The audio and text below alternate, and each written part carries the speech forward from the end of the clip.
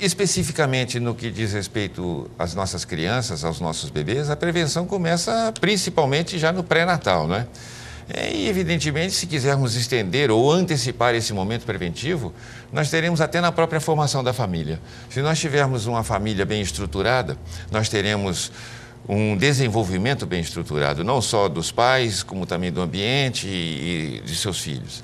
Se nós tivermos e se a mãe, principalmente, fizer o pré-natal adequadamente, com o mínimo de seis consultas, fazendo os exames, mantendo é, as orientações, atendendo as orientações médicas, ela vai fazer um pré-natal com acompanhamento e os, a, a, chance de sucesso dessa gravidez, dessa gestação, de um parto bem sucedido, de uma criança sadia, é muito grande.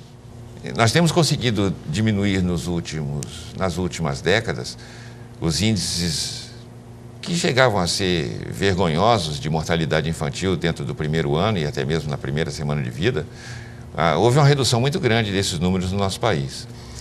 Então, é, para sintetizar para os nossos espectadores, o pré-natal é muito importante para fazer prevenção de uma gestação e de um nascimento sadio.